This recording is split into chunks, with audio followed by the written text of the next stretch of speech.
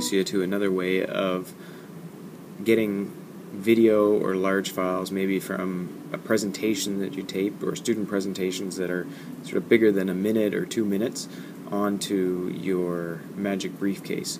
So using Picasa, it's a very nice program I think, you select the import up at the top and that will give you a connection to your iPad if you've connected it through the USB connection and you can use the ones that you're using for your power cables. Find the video that you would like to import. Let's see, we have a, a file that we want to import. Here's a, a nice fish. Choose where you'd like to import to and the My Briefcase, my Magic Briefcase is usually in My Documents.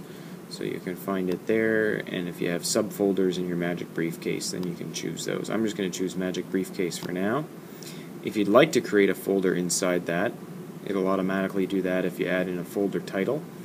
And you choose whether you want to leave the image on the iPad or take it off. And if it's a big file, I'd recommend that you take it off.